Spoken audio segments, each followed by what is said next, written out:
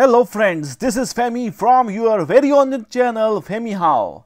In this video, you are going to learn how to swap or move rows and columns in Microsoft Excel. It is very very simple. First, I select a column by clicking on the name of the column. For example, I am clicking on column F. Whole column will be selected. Now I will move this column to the last so, what I will do? Press and hold shift, press and hold shift and then move the cursor so that this plus sign is converted into 4 arrow sign. Now, move your required place. Here you can see that column has been moved to the last. Now, I will show you how to swap a row.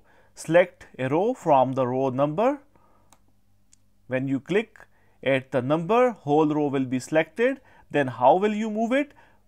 Again, press shift and hold it, press shift and hold it and then move cursor and watch this plus sign is converted into 4 arrow sign. Now you can see that plus sign will be converted to the 4 arrow sign.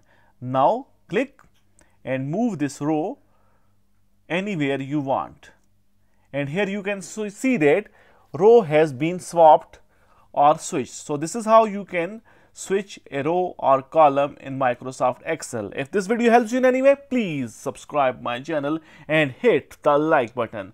Thanks for watching. Thanks for your time. Goodbye.